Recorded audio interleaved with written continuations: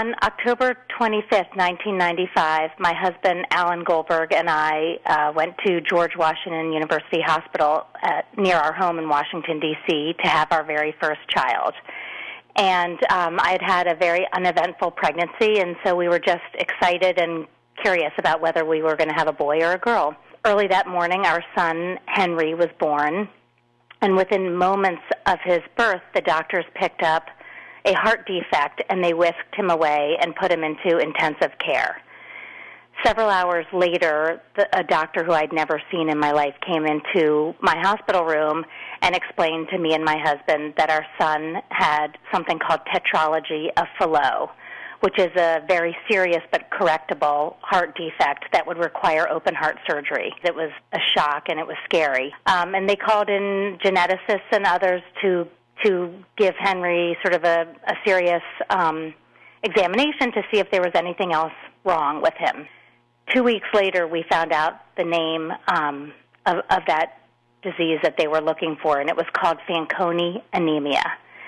And Fanconi anemia turns out to be a Jewish genetic disease that my husband and I, who are both of Ashkenazi Jewish descent, were unknowingly carriers of.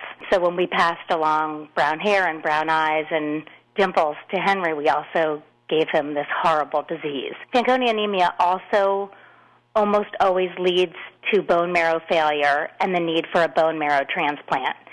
And the um, kids in the Ashkenazi Jewish population with Fanconi tend to have earlier onset of bone marrow failure and need to have their bone marrow transplants by the time they're five. This was overwhelming information to get as we held this two week old baby in our arms who looked completely healthy. The type of Fanconi that he had, the type that runs in the Jewish community, um, back in 1995, when Henry was born, the bone marrow transplant survival rate was zero, unless there was a brother or sister who did not have the same genetic disease and was a perfect HLA or bone marrow match if we were able to have another baby who would be a perfect bone marrow donor for him, his chance of survival was upwards of 90%.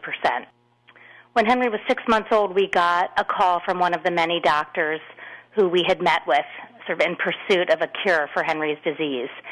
And she told us about a brand new medical procedure that had never been tested before, but that they thought could guarantee us at the moment of pregnancy that we could have another child who would be free of Fanconi anemia and also would be a perfect bone marrow match to Henry. Um, what she was proposing was that there was a, a doctor, um, actually at the time here in Washington, D.C., who had figured out a way to combine in vitro fertilization, but where they could extract a single cell from the embryo before they implanted it in the uterus and be able to test that cell for the presence of the disease and also for HLA typing. And the idea was that they, um, while the embryos were still in the lab, they would be able to pick the one or the two that were healthy and perfectly matched to Henry, and I would become pregnant.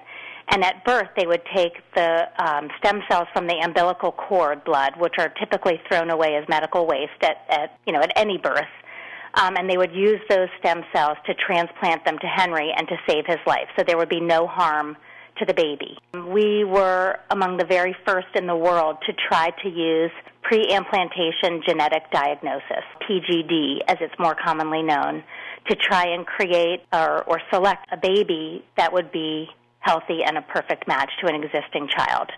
And over a period of three years, my husband Alan and I used tried PGD nine different times to try and save Henry's life. But a mix of technological failures, and statistical improbability and bad luck doomed us to failure. When Henry was four and a half, his bone marrow failed, and we had to proceed to transplant without a perfectly matched sibling donor.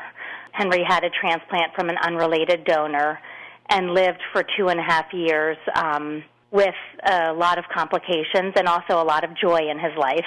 In, in during his life, we we were lucky enough to be able to get pregnant naturally with two additional children. Our sons Jack, now 13, and Joe, who's now eight years old. Um, and we got lucky, and they were born healthy. But at, at the age of seven, Henry died of complications from from his transplant. He was one of the most vivacious spirited, happy children that I've ever met in my life, let alone to say he was the most courageous.